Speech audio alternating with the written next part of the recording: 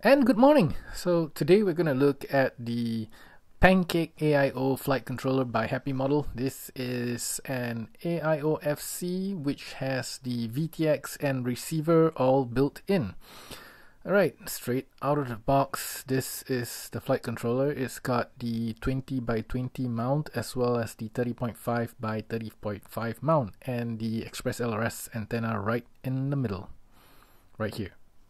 Right, we also have the UFL connector for the VTX and um, an XT30 connector, a packet of stuff. Alright, so what's inside is um, some grommets, the dipole antenna, and of course the connector for the ESC. So this particular flight controller does not come with an ESC and you might need one to attach to the flight controller itself. Now this particular uh, pin is one of the most important thing and this one allows you to plug into whatever ESCs that you got. So this connects to the flight controller. So I'm using this 35 amp ESC by HAKRC. You can use any other ESC for this flight controller. It's just that you make you got to make sure that all the wires are wired up correctly. So the um, wires here still have the pins. So what you need to do is just to deepin and use the existing connector.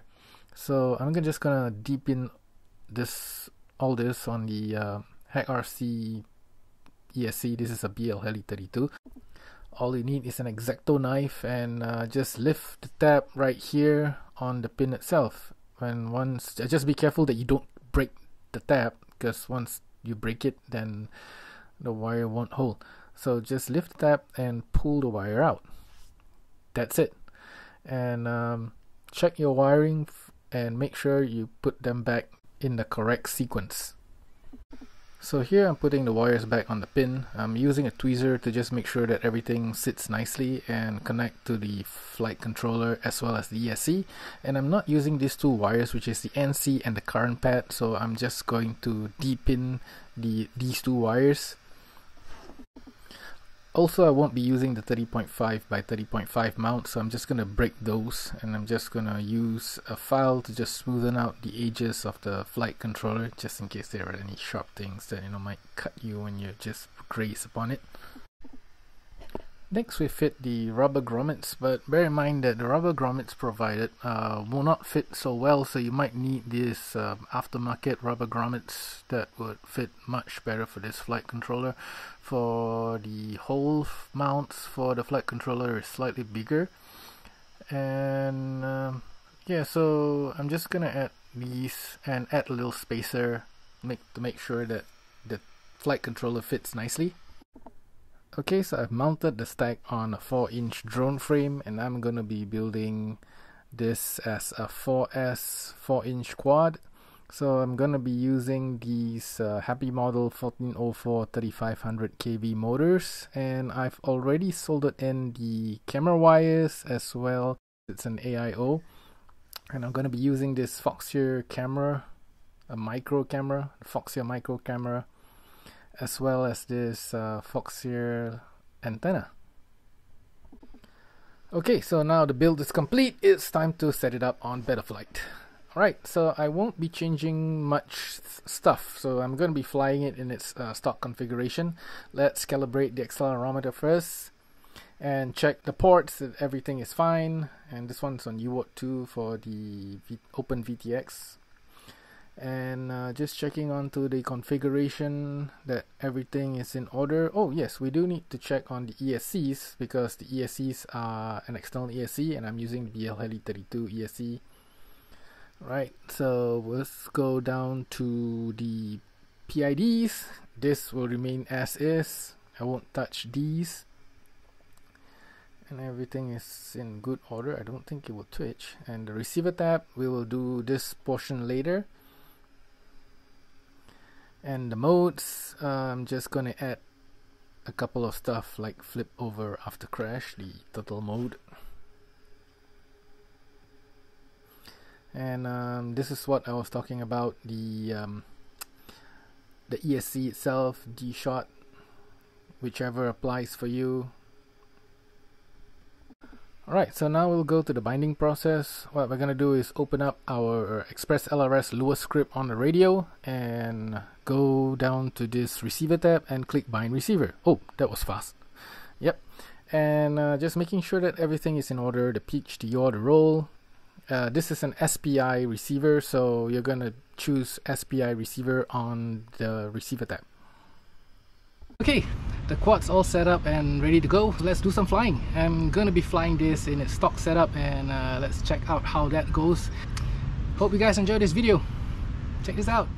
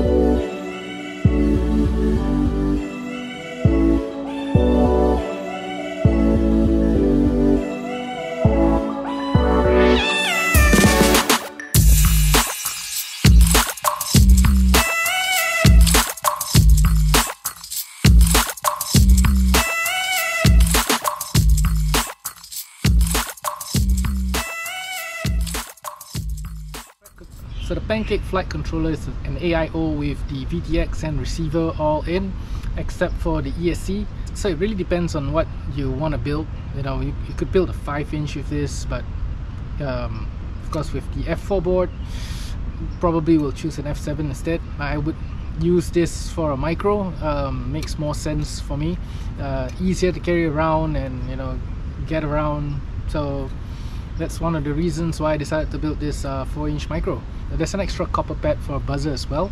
Alright, so I've had to adjust the rates for this because it was just a little too slow for me. Um, but other than that the pancake works fine and with the uh, 35M ESC I think it makes a huge difference on a 4 inch. This could be used on a race quad as well so really depends on what you want in uh, personally. That's it for today's video. I hope you guys enjoy. Have a great week and till the next one. See you guys again soon. Ciao